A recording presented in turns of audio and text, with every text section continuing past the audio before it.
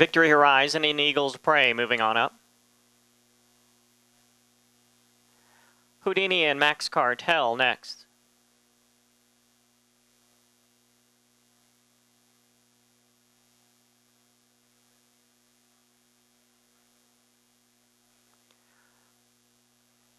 Now one Special Eagle and Ms. Special Perry.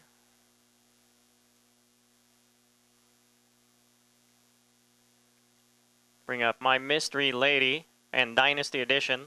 The last two will be Rock Princess and Quick and Mighty, and will be all set for trial number one for the All American Futurity this year. $2.6 million, the richest All American Futurity in history. Rock Princess coming on up. Quick and Mighty will complete the field.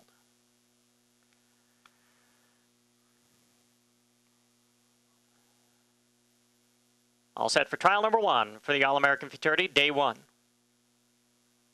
Acting up in the gate is Max Cartel. The rider jumped off. Felipe is climbing back aboard. And now the four sets off My Mystery Lady. And that set off the 10, quick and mighty. Trying to get them all settled down for trial number one on day one. Running and a beautiful break.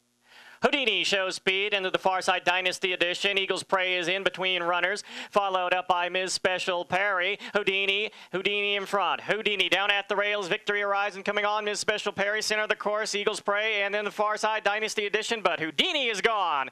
Houdini wins just over two. Second, Eagles Prey. Then it was Dynasty edition, and maybe Victory Horizon over Rock Princess.